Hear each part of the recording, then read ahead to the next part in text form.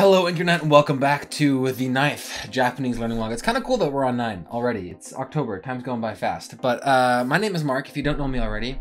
And in June of 2021, so about four and a bit months ago, I started learning Japanese relatively seriously. And all in all, today's kind of theme is me finding the groove, if you will, me getting into a rhythm that works for me. I've really been embodying my idea of, you know, take what works and keep it and throw away what doesn't. But the problem is with some systems, I feel like I already have things that work. And with some like Japanese, I feel like I don't have things that work. And so the time to find these things is tedious. And I suppose the three months of the summer was very helpful uh, in terms of fully getting started, but I feel like I've gotten a lot closer to something that really works for me. So uh, I was gonna start with saying something in Japanese, but I'm not, not yet. I can put together like small fragment sentences with the basic grammar that I know, but I'm still very conscious about like accent and properly forming stuff. I'm gonna try not to look like this because the green, anyway. So yeah, today will be a lot about me getting in the groove of using various learning methods and what I did to get over these, these humps.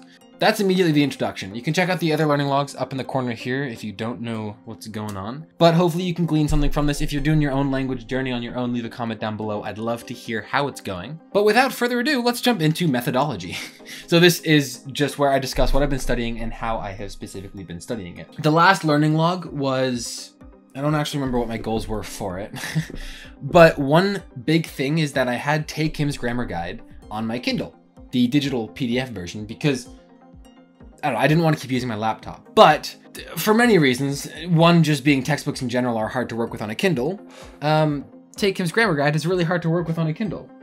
So, I got it in physical version. It was like $20 on Amazon. Um, and I know book fees are a thing. Uh, and so, you know, you probably made like $2 off of this. Um, so I do want to actually donate to the site once I get more through it, just as a, a weird like reward for myself, even though I'm not even though I'm losing my... I, it's weird. I don't want to explain that psychology of that or what I think it is right now. But anyway, I got the physical version. I haven't taken actual notes in ages. So what I'm doing is, first off, I have three color highlighters. I only like to highlight with two. I don't even like to highlight in the first place, honestly. But I'm like forcing myself to do it because maybe this will help. And again, you know, try things. And if this doesn't work, then it doesn't work. But so far, we're doing all right. Anyway, dedicated written notebook. Um, and effectively, I'm writing in black and red. So Black is just general and then red is like the main highlight for points. And then I put references back in the textbook. Future Mark, if you would be so kind, do some B-roll of that maybe. Um, it's been very slow, which I will talk about in reflections. But that's been, you know, my grammar, my grammar guide, literally. Um, and it's been very important because I think, you know, I've said before, I think the grammar is important. Um, but my main thing is the linguistic focus of things. Looks like Tae Kim gets a lot more into that idea later on. So anyway, uh, the other methodology uh, that I've been doing is WaniKani and sort of Bunpro. So, all right, so to make my life easier, we're gonna skip to this camera uh, in the front. Uh, this is WaniKani. This is thing one that I've been doing.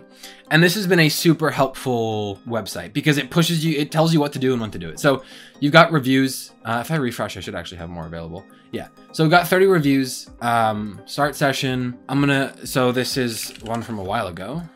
Finish. Uh, tsunami. so mad that that's not, you know, better yet.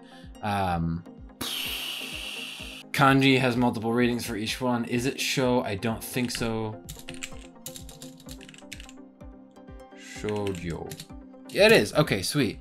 Um, Sagiru, Sagaru, oh, whoops. Uh, to be lowered. To get lower, frick. Some of the reflexive really mess with me. Anyway, that's uh, that. Uh, and I do that two to three times a day, at least. Uh, you know, if not four. What's really cool is as you finish the radicals, the relevant kanji become available. And then as you finish the kanji, the relevant vocab become available. And as soon as you get all the kanji, uh, successfully done five times. So like I have for mix down here, you know, one of 39 kanji passed and the level changes when you progress through kanji. So the idea that I want to get used to, and my last goal was to get to level six and clearly I'm not there. And I definitely want to do like one level a week, like go, go, go, go. So what I was originally doing is doing enough kanji to get vocab and then, you know, finesse those, do the rest of the kanji, do more vocab. But what I should be doing is get all the kanji as quick as possible with vocab and whatever aside. And then, you know, technically all the vocab will carry over. So while I do level six kanji, I'll be doing level five vocab. If you do it often enough and at the right times, the radicals can be done in two days. I think I got to level five like three days ago. How people are doing them in six days, I'm not yet sure, but excited to find out all in all. it's just a great system because it, it's a long, like I know kanji's a long-term game and I love being able to sit down and just having the reviews ready. That's such, what's so great about Anki and whatever. But WaniKani has a whole paced out system for all the kanji in general. Well, by all the kanji, I mean all the ones I'll ever need. That is methodology one and methodology two is Bunpro. Now, one of my goals last week was uh, to maintain a streak, right? But the problem was I was doing the Bunpro reviews like way on N5 pace slash way out there, just too fast in general. So when I got to reviews, I wasn't getting much use out of them because I found it was becoming just rote memorization. So I haven't touched it. Yesterday, what I did was I reset a bunch of the grammar points I had been working on so that it's up to pace where I am in the grammar book. Now, I have gotten through very little of the grammar book relatively. It's been like every few days, like do a couple pages pretty much. But so yeah, so it's all the way up to transitive and intransitive verbs. And then, yeah, so this is the full kind of chapter. And these are the only ones on Bunpro I've been kind of doing. Now I haven't done these, but the, my point is something I realized about four or five days ago. And this is why the theme, actually we're gonna switch back. So this is why the theme of the video is this finding your groove type of thing. Oh, it was only four or five days ago that I realized I'm going through the textbook too slowly. Um, you know, Bunpro is not, I'm not getting out of it what I think I should be getting out of it. Uh, WaniKani is the only thing that's working right now simply because it's paced by itself. And I'm learning vocab, which is always my most dreaded part of language learning, but it's, it's, it's happening. So keep on WaniKaniing. And then I just paid for Bunpro a few days ago when I set this all up. Something was happening with my billing, which was part of the reason why I stopped like using it. But anyway, so we have reviews ready. Let me skip right back to the reviews really quick. Uh, this can also be interpreted as, do you like me daisuki? Dai, daisuki. Da. Uh, suki. Okay, not too familiar with what is happening right here. Let's try a different one. Inanimate objects. Frick. What a shame. Garu. Yeah, okay. Been a while since I've done pro I also switched it to light theme because dark theme was slightly weird. Um, but anyway, so we're back to camera now. God, I've been talking about methodology for a while, but hey, that's the whole point, right? So Bunpro, I'm hoping will work just as WaniKani is working. In other words, I'll be doing it two or three times a day with WaniKani because what I found is, let's take a look at my calendar really quick. Okay, I'm not gonna move this, mark in the future, blur what you need to blur. I'm gonna go back a week in just a second. So you see that there are active Japanese study blocks here and here. So the teal stuff. Cool. This is when they're supposed to be, more or less. But sometimes it ends up being me sitting down for WaniKani, only doing a few pages of the textbook, whatever. I like this system, however. In the video I just released over here, uh, like two days ago as of this video uploading, actually it was yesterday as of this video uploading, these Japanese is a commitment. So I do it during these times where, I don't know, I'm not gonna try and explain that, but it's a commitment. And I think this is working for me so far. I just have to really dig into the schedule and focus myself on doing some textbook pages. So yeah, and then some other goals that I mentioned in the last learning log were reading Haikyuu, which I'm using for my camera. Oh, this is actually a good level. Never mind. Okay, so Haikyuu, uh, barely read any of it. I, I just get so intimidated by going through.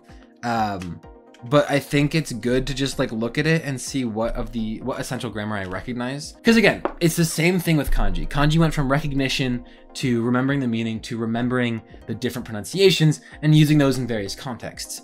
I, I still feel like there's a pattern to the pronunciations, and there sort of is, but sometimes it's like, oh, this uses the Jugoku reading, or whatever. This is Jugoku, it uses the Kunyomi reading. Sorry, I messed that up. You know, today I was at archery, and there was this this bow stand, and it had four kanji on it. First one I didn't recognize, but the second one was, I forget the exact order, but it was Water, Fire, Mountain and I just I didn't know what that meant. like, was that a brand? Because I know you you know sometimes kanji are used simply for the pronunciation. So was it like Kazan was I think volcano in general. San is mountain. So like maybe it was Hisan and then Sui Hisan.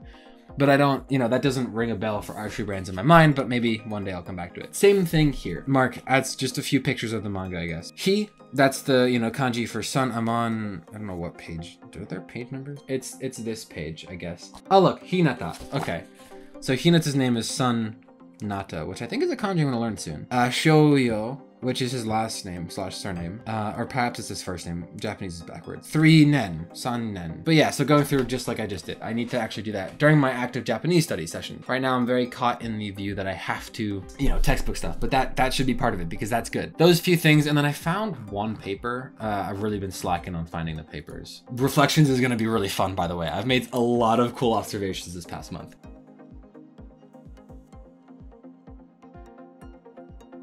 One of my classes is called Linguistics as a Cognitive Science, and we bring up a lot of cool things. So yeah, that's my methodology. WaniKani, I didn't really do it, but now I will be doing Bunpro daily with WaniKani, uh, Japanese textbook and going through manga during my active Japanese study blocks. And then I haven't watched much TV at all lately, just in general, but I started watching Fullmetal Alchemist Brotherhood, which is my current target goal. I don't think I watched like one show in total, at least not a Japanese one, which is, you know, it's great that I'm not watching TV, but, you know, I should. Oh, I've been listening to a lot of. Okay, you know what? Good segue. Reflection. So this is any observations uh, or things that pertain to past goals that I have noticed. So overall is a very slow month, as I'm sure you can imagine. Um, however, there have been times where I can kind of put together some basic sentences. I, I think in my head, like, okay, how would, you know, I was talking with a friend and I was like, oh, my name would be Maku. And I'd be like, Maku des is Mark. And then the suffix that is I am. And he was like, oh, what would my name be? And so I guess, and I just said like Mato and Matt right? So Mato. But so I was okay. You know, I'm just gonna go in the whole story. So I was I switched my phone to Google Maps. Let's see. You can peel the image right from the screen, Mark. Google Maps changes all of the street names and stuff to uh, katakana, which is great katakana practice. WaniKani is great hiragana practice. But this is great katakana practice practice because I'll be on the subway and I'll be thinking, okay, atoran Teishku. But sometimes it's like I was talking with my friend and I was like, oh, like look at this one.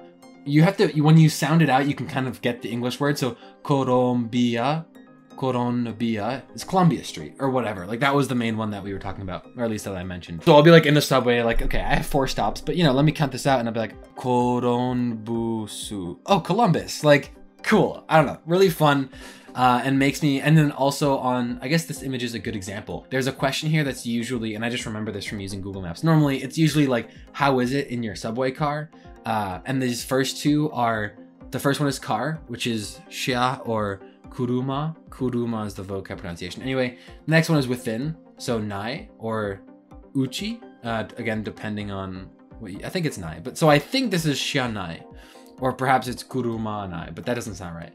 I don't actually know. But and then there's wa, the particle. So as for in the car, dono yo na, I, I don't know what any of the rest means. Deska. So deska is is it something. So within the car, something something is it. And then like I have 50% of it. And so I imagine that's like temperature, humidity, whatever. That was that's been super fun because it's it's such a passive way of being like, hey, my, my learning is paying off. Talked about lack of anime. I was gonna segue into music, but it was my fourth bullet point. Uh, been listening to a lot of music. I found Millet, Millet. It's pronounced in, or it's spelled in English. Even though I have my phone in Japanese, like Takayan is switched to uh, hiragana when I switch my phone to Japanese. But, but yeah, I've been listening to a lot of those, and Millet has a lot of bilingual songs, and some of it's in English, some of it's in Japanese, and it's been super cool to like realize that you know if it switches to English, my brain will will immediately be like, this is English, because I'll just understand it. But when it's Japanese, there's like a fraction of a second where it's like, oh, I don't know that word in English. And then I'm like, oh, it's Japanese.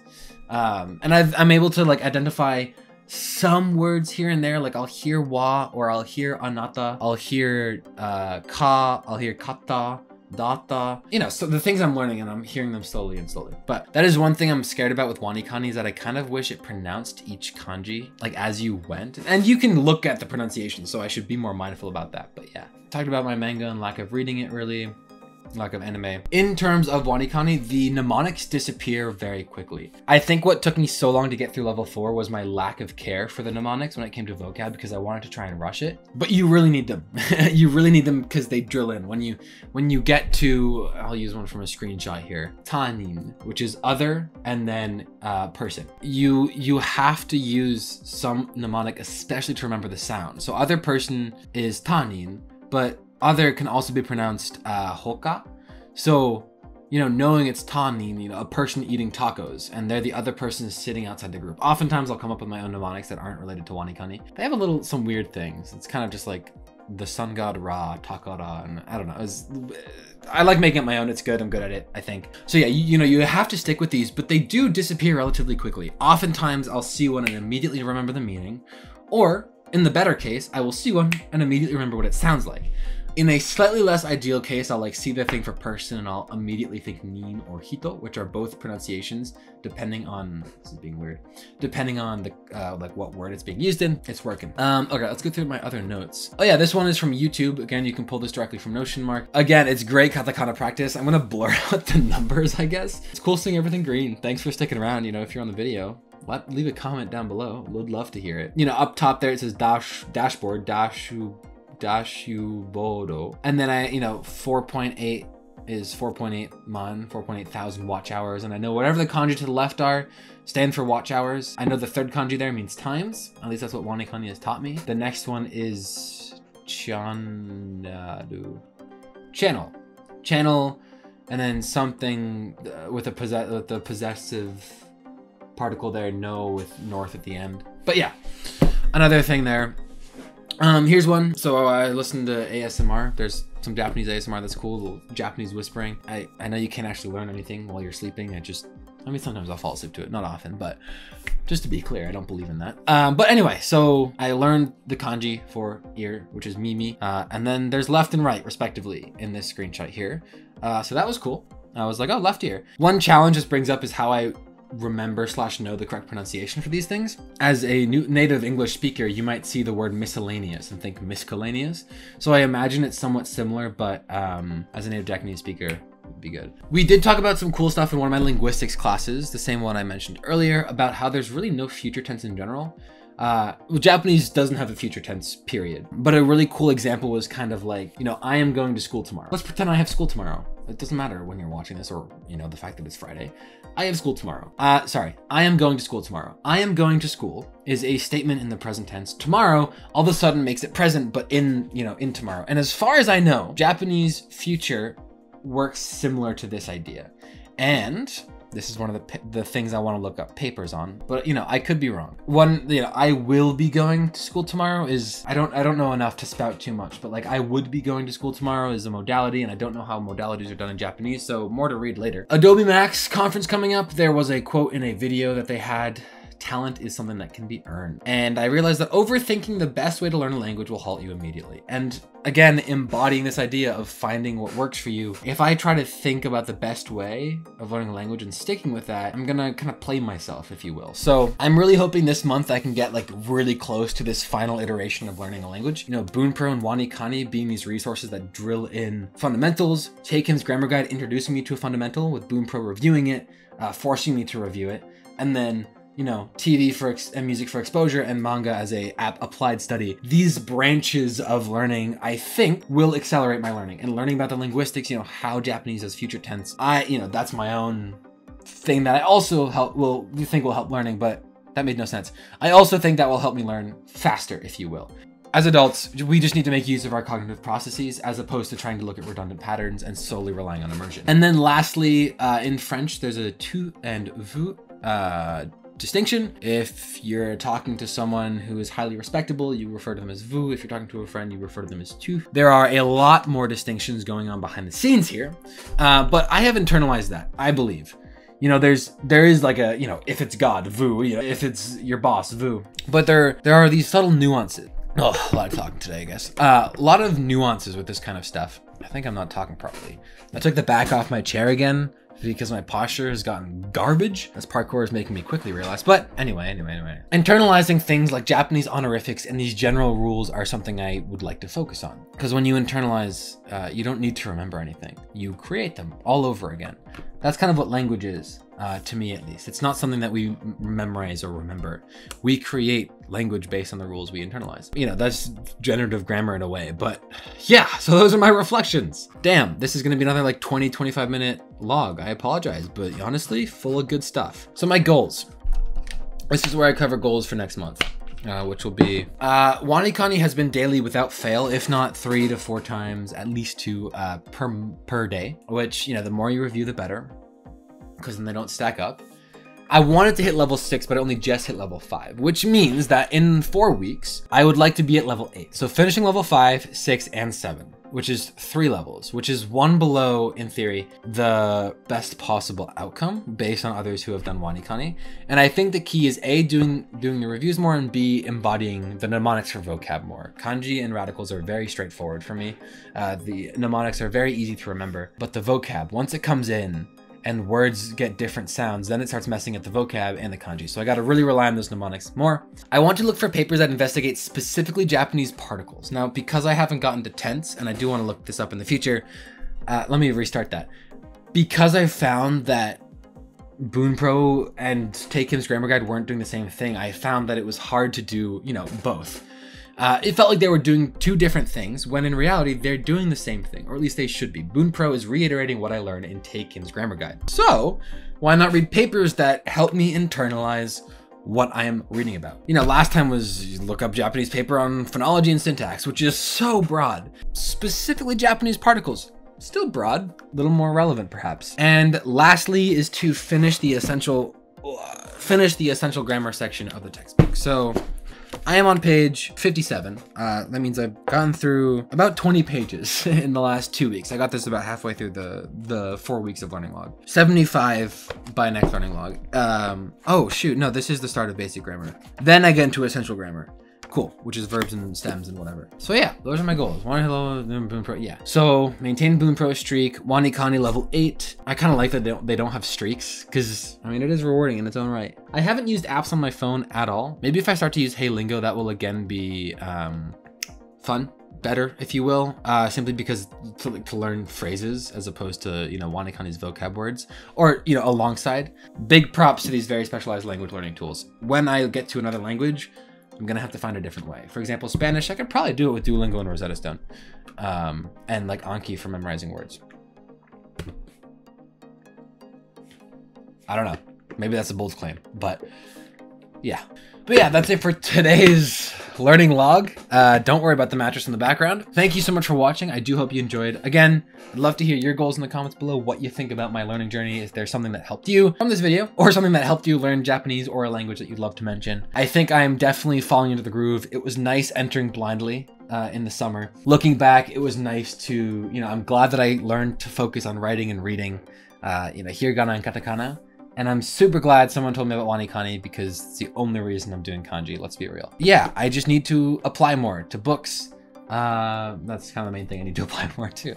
And, you know, build up the foundational knowledge. Because once you have that finite array of basics, not really finite, but finite array of basics, uh, you know, you can learn the building blocks and then you can start to put together your own things. That's a whole other theory of knowledge that I have, but, and in building. But yeah, no more further rambling. Thank you so much there will be a video this week. Upcoming, it's gonna be like a video on geocaching. I'm thinking of doing a video called Parkour in New York City. I don't know. If you're watching this, I imagine you're a follower of the channel or whatever. Have a good one. I will see you in four weeks. Um, but most importantly, don't forget to stay awesome. See you then. He's got this. What's up? We're live streaming. like, subscribe, join. I'm gonna put that at the end of the next Follow video. my Patreon. Don't forget to like and subscribe, fam. Leave a comment. Follow me on Twitch. Live streams every Tuesday. Also, we need money for the PO box. Yeah. I'm gonna have that clip exist on its own. Nice. Nice.